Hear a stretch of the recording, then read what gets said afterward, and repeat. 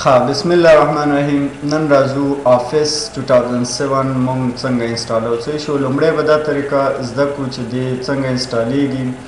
د چې کله دا انسټال شو بیا د دې د اوپن کولو طریقې دغه کو نو ما په سی ډرام کې سی ډي خې دا څه شو اچول بنر نو اوس راځو مای کمپیوټر ته دا اوپن کو څه شو چې کله ما دا اوپن کو دا زما چې د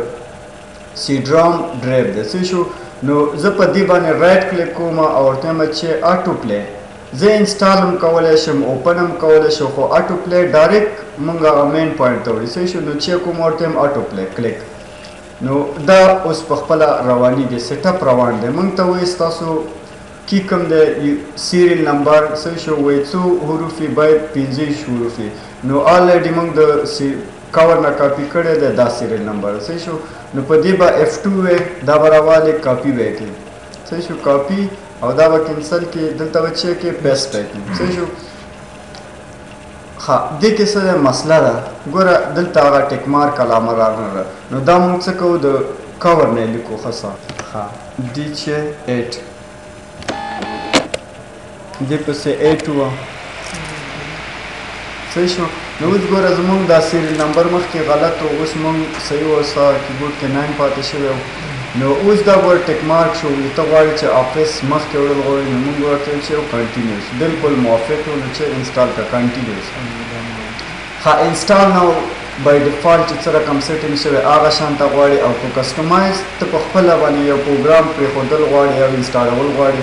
نو مونږ کسټومایز پریږدو او په دې که مونږ سیټینګ په دې کې وکړو نو چې کله دغه کوو نو زمونږ کمپیوټر بیا چیه کیږي بعضې فایلونه صحیح انسټال شوي نی هغه بیا څه کوي مسله ایرر ورکوي څه شو نو دا څه کوو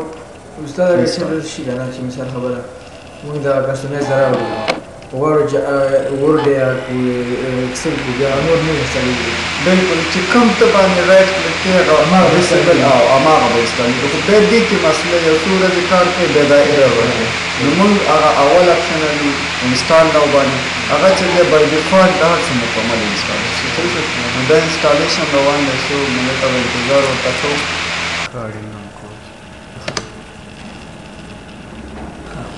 ښه اوس مونږ ته چې راغی آپشن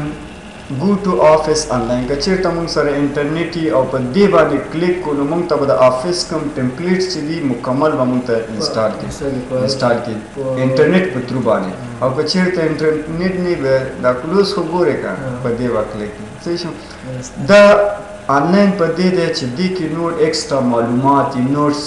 سیزونه یې ټمپلیټ شو نور داسې کوم دې د نوې جوړې نو هغه انټرنیټ کې ورکړي نو دا خو سی ډي کې نه ریایډ کیږي هغه دوم وروسته سوچ راځي نو اچ چې کې انټرنیټ کې ورکړي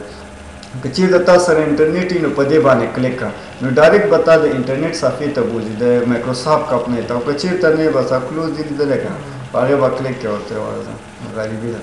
نو دا فیس پروګرام مونږ سره وچې شي انسټال شي دیګ او څه مسله نه وه ټولو انسټالیشن همدا طریقه ده نن ورځ د پاره همدومره بس.